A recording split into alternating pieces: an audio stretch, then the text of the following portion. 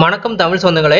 விவசாயத்திற்கான இலவச பயிற்சி வகுப்பு மற்றும் விவசாயம் சம்பந்தப்பட்ட தகவல்களை தொடர்ந்து தெரிந்து கொள்ள தமிழ் வேளாண்மை சேனலை வந்து சப்ஸ்கிரைப் பண்ணிக்கோங்க. அப்படியே அந்த கோவில் மணி மாதிரி இருக்கக்கூடிய குறியீடு அழுத்திக்கோங்க. இன்றைக்கி நம்ம என்ன பார்க்க போகிறோம்னா நாட்டுக்கோழி வளர்ப்பு இலவச பயிற்சி வகுப்பு பற்றி தாங்க பார்க்க போகிறோம் நம்ம தமிழகத்தை பொறுத்த வரைக்கும் வந்து பார்த்திங்கன்னா பல நூற்றாண்டுகளாக இந்த நாட்டுக்கோழி இனங்களுங்கிறது நம்ம கூடயே வந்து வளர்ந்துக்கிட்டு இருக்கக்கூடிய ஒரு இனம் தாங்க. ஆனால் வந்து பார்த்தீங்கன்னா சுதந்திரத்துக்கு அப்புறம் அந்த பாய்லர் கோழி வருகைக்கு பிறகு வந்து பார்த்திங்கன்னா நாட்டுக்கோழி இனங்கள் வெகுவாக வந்து குறைஞ்சிருச்சுன்னே சொல்லலாம். ஏன்னா பாய்லர் கோழியை பொறுத்த வரைக்கும் வந்து பார்த்தீங்கன்னா முட்டைக்காக கூட முட்டைக்காக இருக்கக்கூடிய இனங்கள்னு இருக்குது அதே போல் இறைச்சிக்காக வந்து தனியாக இனங்கள் இருக்குது இந்த ரெண்டு இனங்களையும் வந்து பார்த்தீங்கன்னா பெரிய லெவலில் நிறைய பேர் வளர்த்தனால நம்ம நாட்டு இனங்கள் வந்து பார்த்தே நம்ம நாட்டு இனங்களை வளர்க்குறது வெகுவாக வந்து குறைஞ்சிருச்சுங்க. ஏன்னா நம்ம நாட்டு இன கோழிகளால் வந்து பார்த்தீங்கன்னா அறுபது முதல் நூற்றி முப்பது முட்டைகள் வரைக்கும் தான் இடக்கூடியது. ஆனால் வந்து பார்த்தீங்கன்னா இந்த பாய்லர் கோழிலாம் அதிக லெவலில் முட்டை தரக்கூடிய இனங்களாக இருந்துச்சு.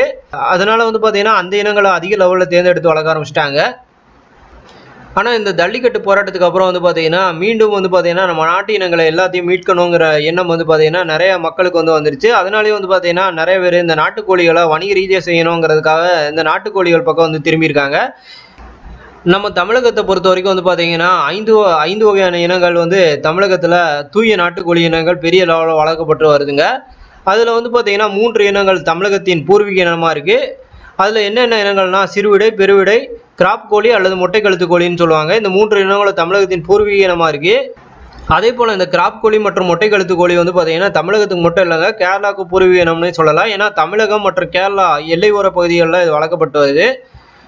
இது போக வந்து பார்த்தீங்கன்னா அதிக மருத்துவத்தன்மை கொண்ட இனமாக வந்து பார்த்தீங்கன்னா இந்த கடக்நாத்துங்கிற கருங்கோழி வந்து பார்க்கப்படுதுங்க. அந்தமான் நிக்கோபார் இனமான நிக்கோபாரிங்கிற இனமும் வந்து பார்த்தீங்கன்னா இப்போ தமிழகத்தில் பெரிய லெவலில் வளர்த்துட்டு வராங்க. இந்த ஐந்து இனங்களை தவிர்த்து வந்து பார்த்தீங்கன்னா நிறைய வகையான வீரிய ரக நாட்டுக்கோழி இனங்கள்னு நிறைய இனங்கள் வந்து பார்த்தீங்கன்னா அந்த கால்நடை பல்கலைக்கழகங்கள் வந்து உருவாக்கியிருக்காங்க. ஏன்னா வந்து பார்த்தீங்கன்னா இறைச்சிக்காக தனியாகவோ அதே போல் வந்து முட்டைக்காக தனியாகவோ சில இனங்களை வந்து இவங்க உருவாக்கியிருக்காங்க. அப்படி உருவாக்குனதுலேயே வந்து பார்த்தீங்கன்னா ரொம்ப பெஸ்ட்டாக பார்க்கக்கூடிய இனங்கள்னு வந்து பார்த்தீங்கன்னா கைராளிங்கிற ஒரு இனத்தை வந்து சொல்கிறாங்க இந்த கைராளிங்கிற இனம் வந்து பார்த்தீங்கன்னா அதிக லெவலில் முட்டைக்காக வந்து வளர்க்கக்கூடிய இனங்க. இன்றைக்கி வந்து பார்த்திங்கன்னா தமிழகத்தில் பெரிய லெவலில் நிறைய பேர் இந்த மாதிரி முட்டைக்காக வந்து கைராளியை வந்து அதிக லெவலில் வளர்த்துட்டு வராங்க. ஏன்னா இந்த கைராளி வந்து பார்த்திங்கன்னா வருஷத்துக்கு இரநூத்தி நாற்பது முட்டைகள் வரைக்கும் இடக்கூடிய இனங்க. பொதுவாக இது போல் பயிற்சியில் நீங்கள் கலந்துக்கிற போது நிறைய வகையான தகவல்கள் வந்து நீங்கள் தெரிஞ்சுக்கலாம். அதனால் நிச்சயமாக இது போல் பயிற்சியில் வந்து கலந்துக்கோங்க. இந்த பயிற்சி வகுப்பு வந்து பார்த்தீங்கன்னா முன்பதிவு அவசியங்க. அதனால் தொலைபேசி மூலம் முன்பதிவு செய்து கொள்ளுங்கள். அதே போல் லாக்டவுன் முடிந்த பிறகு முன்பதிவு செய்யுங்கள். நாட்டுக்கோழி வளர்ப்பு இலவச பயிற்சி வகுப்பு நடைபெறும் இடம் கால்நடை மருத்துவ பல்கலைக்கழக பயிற்சி மற்றும் ஆராய்ச்சி மையம் மேல்மருவத்தூர்.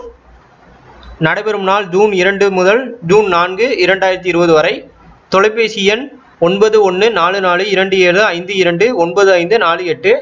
இந்த காணொலிக்கு மறக்காமல் லைக் பண்ணுங்கள் உங்கள் நண்பர்களுக்கு பயிருங்க கருத்துக்களை அந்த கீழே கமெண்ட் பண்ணுங்கள் வேளாண் செய்திகள் தொடரும். நன்றி.